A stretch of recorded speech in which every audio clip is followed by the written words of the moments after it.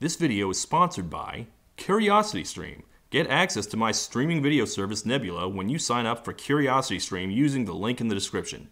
Hey, you know what's a great band? LCD Soundsystem. Made some of the best songs of the 2000s, Losing My Edge, All My Friends, Daft Punk is playing at my house. They broke up in 2011 and they made a great documentary about their final days called Shut Up and Play the Hits, and you can watch it and so much more on CuriosityStream, a subscription streaming service with thousands, literally thousands of documentaries and nonfiction titles. Go to curiositystream.com slash Todd in the Shadows and you will get an entire year for just $14.79. That's nothing. Not only is that a 26% discount on the regular price, you will also get free access to Nebula, a streaming video platform built by and for independent creators like Lindsay Ellis, Minute Physics, and myself. So you will get all the high budget premium content you get on CuriosityStream, plus all the independent video creators on Nebula. Once you use the code and get CuriosityStream, you get a welcome email from Nebula giving you access, and you'll have access to both services. So sign up now, click the link in the description, and enjoy. Thank you, and on with the show.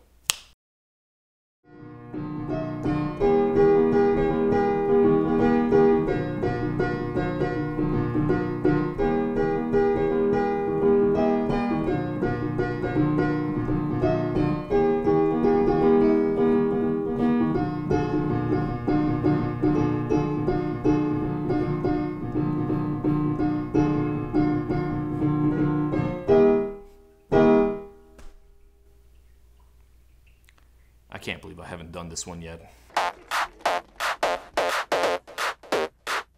Ladies and gentlemen, this is One Hit Wonderland, where we take a look at bands and artists known for only one song. And today we are once again going to party like it's 1999.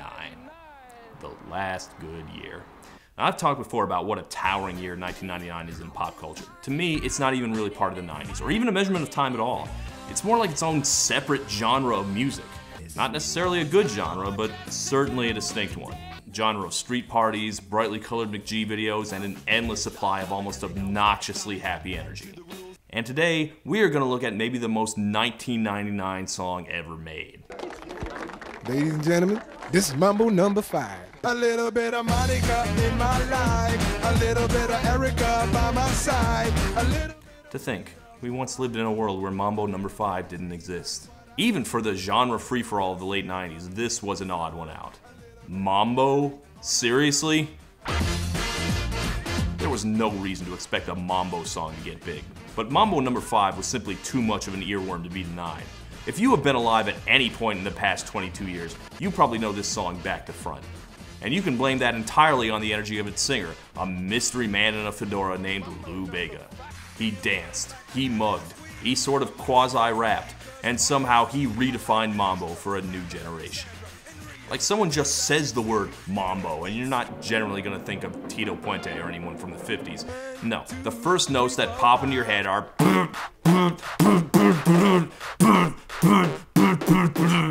Not to say that this is a particularly respectful entry into the Mambo genre.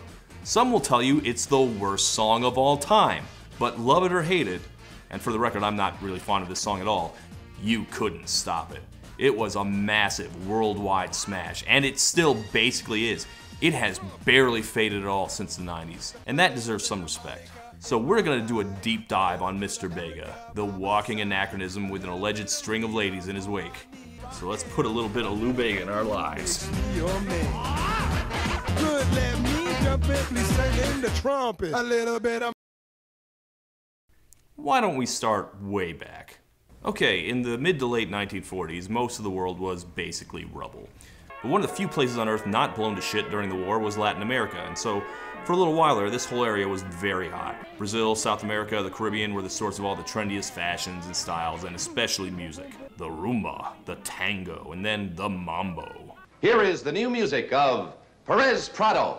One of the mambo's biggest practitioners was Perez Prado, the Cuban bandleader who moved to Mexico and spread the mambo all through North America, including one hit in 1950 called Mambo Number 5. As far as I know, there is no Mambos 1 through 4. There is a Mambo Number 8 though.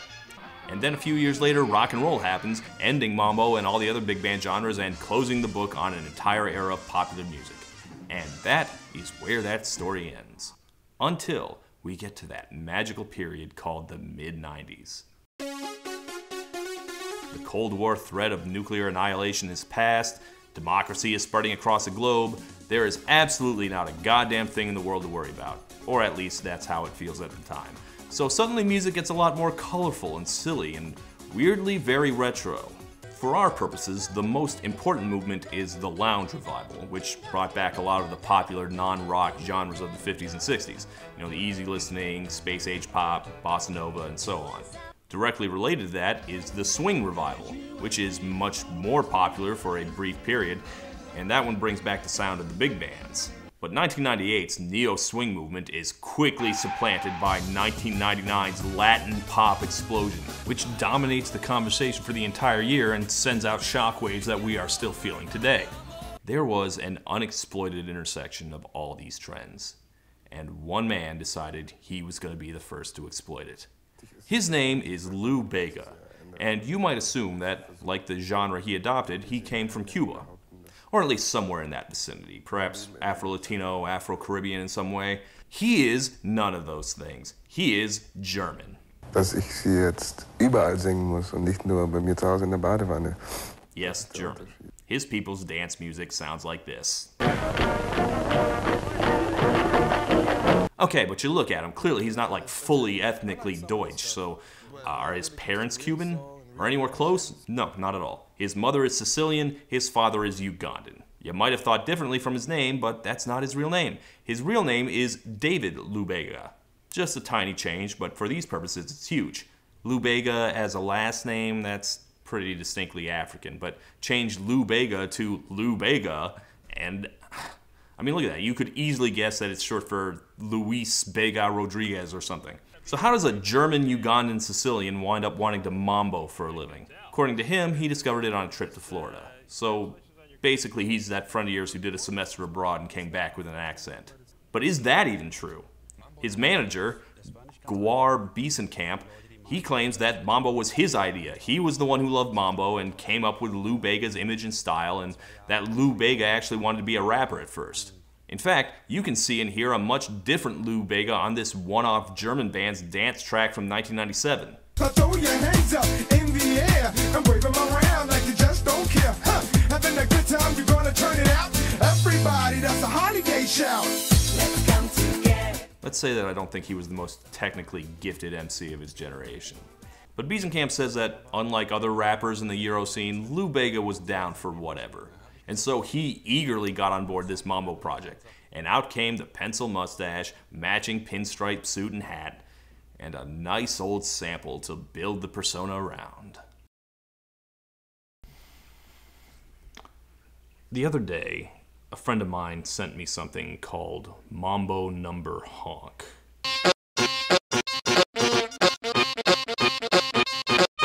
It's Mambo Number 5 played entirely with bike horns. He sent it to me because it was, quote, the sound of pure chaos, so naturally I had to hear it.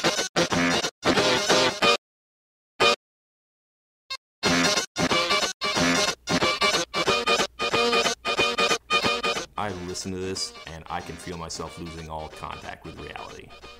But there's a question that I really have to ask myself. Is this really any different than Lou Bega's actual Mambo number 5? Ladies and gentlemen, this is Mambo number five.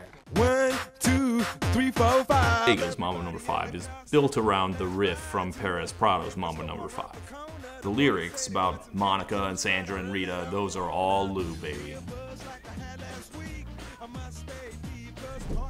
Guess I realize now why I've never covered Mambo number 5 before, which is what is there to discuss? It just is what it is. A little bit of Monica in my life. A little bit of. Well, I will say this about it. Mambo number 5 is basically the exact ideal model of the classic annoying one hit wonder. Impossibly catchy, an undeniable earworm, no one was surprised that it became a big hit, and yet it seemed to become extremely popular without anyone really enjoying it that much. Yeah, yeah, yeah, not without anyone enjoying it. Like a wedding DJ who throws on Mambo number 5 will reliably keep the good vibes flowing, but I cannot imagine someone saying that Mambo number 5 is their favorite song unless they're like 10. because Mambo number 5 is an update of an old-timey genre, it's somehow simultaneously timeless and extremely dated. It could not have been made in any other year but 1999. It's got all the non-genre specific hallmarks of the late 90s.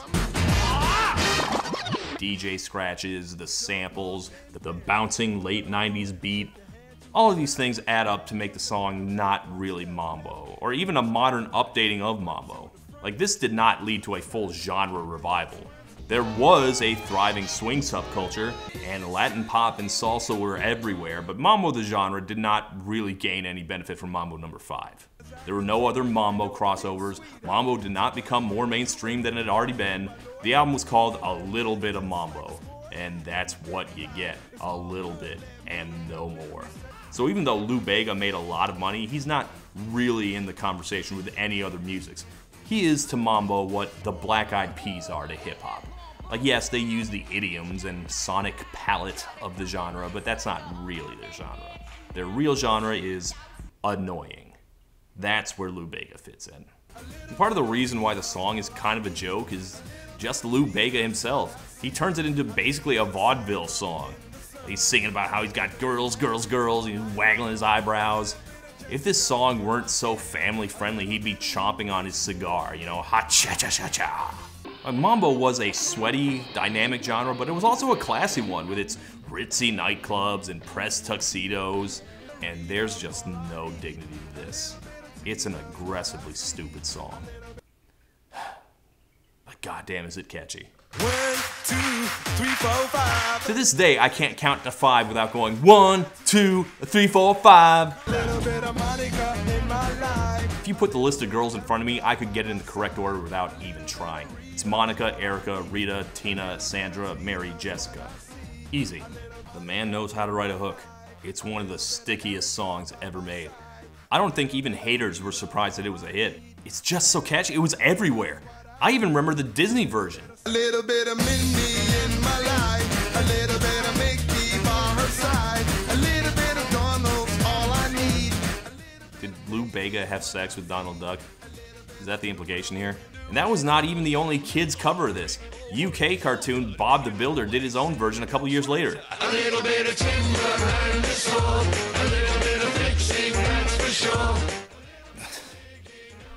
Brand new shows all morning, including three new Pokemon. A little bit of Batman dropping in. It's funny this was so popular with kids considering it's about the parade of girls plowed by Lou Bega. I like Angela, Pamela, Sandra, and Rita. And For the record, he says this was inspired by his real life exploits and that all those girls are real.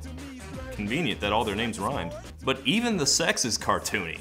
He's like the horny wolf in the Red Hot Riding Hood sketches. For what it's worth, I did see an interviewer ask Bega if he thought the song was, you know, hashtag problematic, and he said no, but the article said he'd clearly thought about this before. If you want my opinion, I think you'd have to try real hard to be offended by Mambo number 5. you can't run, you can't hide. Okay, maybe I wouldn't have written that line, but the song's way too silly to take seriously on those terms. Like, have you heard anyone get mad at it for being sexist? Of course not. Raunchiness isn't offensive anymore when it's retro. That's the rule. And to be fair to this song, for all that I don't like it, I also can't really bring myself to dislike it.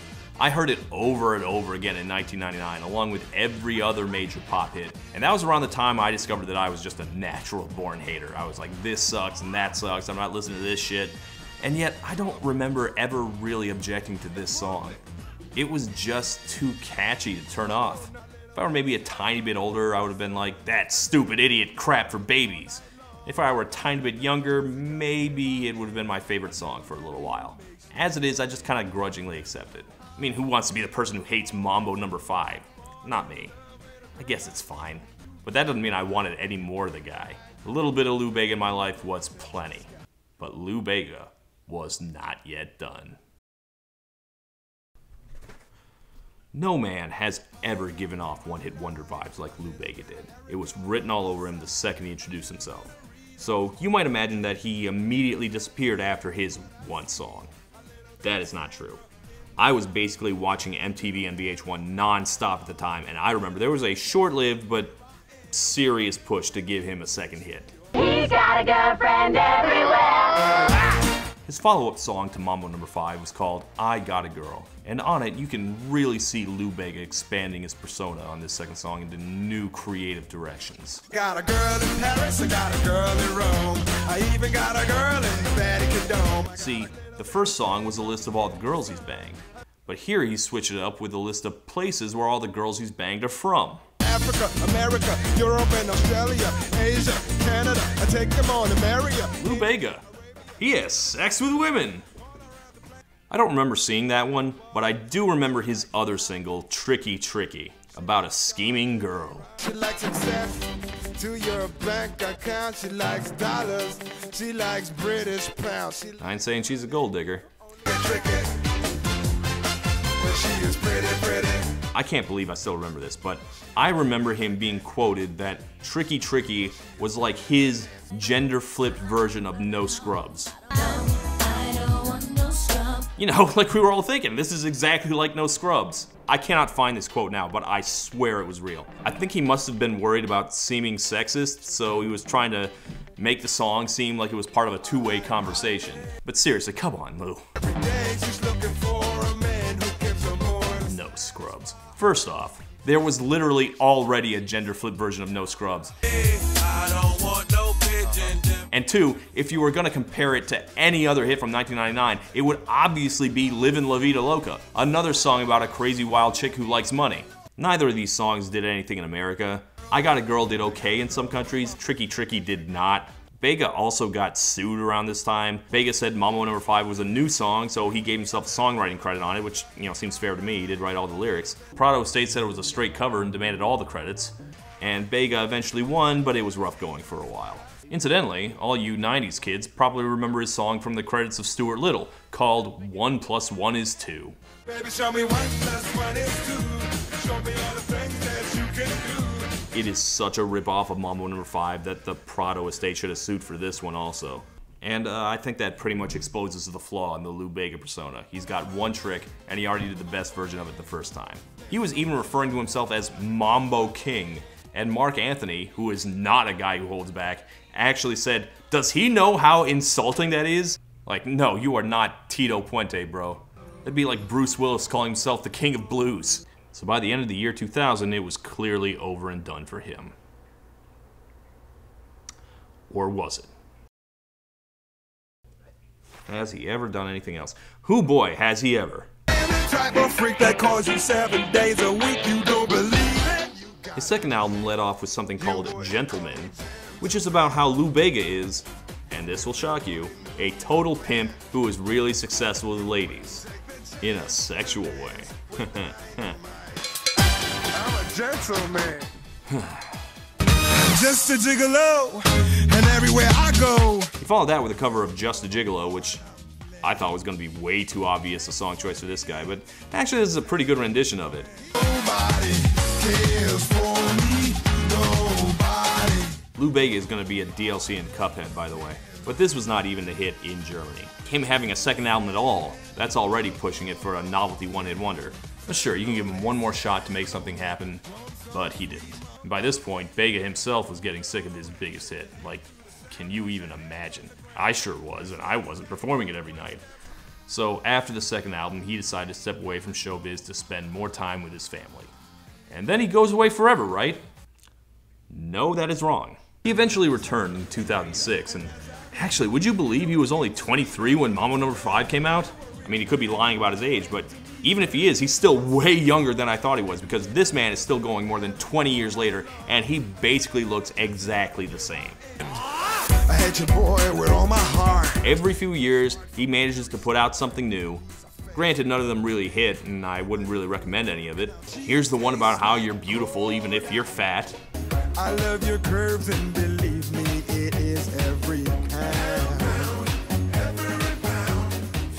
Fellas, you gotta stop making songs like this.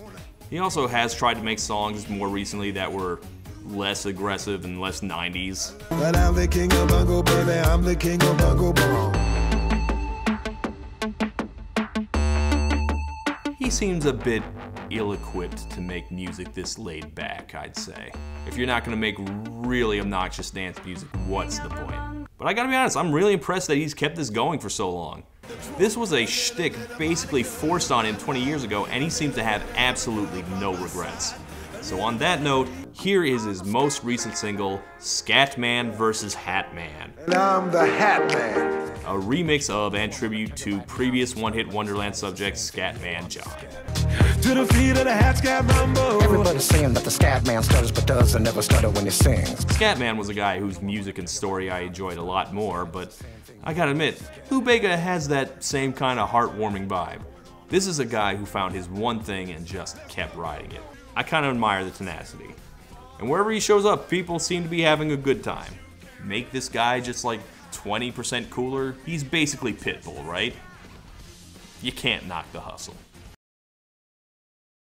Mmm, no. But I kind of want to say yeah. A little bit of Monica in my life. Here's a guy who could be embarrassed by his one hit or resentful that he never had a second, but he's out there still living life to the fullest. I don't really like Mambo Number 5, and you're gonna have to really stretch to convince me that it's a good song. But would the world be missing something without Mambo Number 5? Yeah, I think so. If you like it though, maybe check out some actual Mambo too.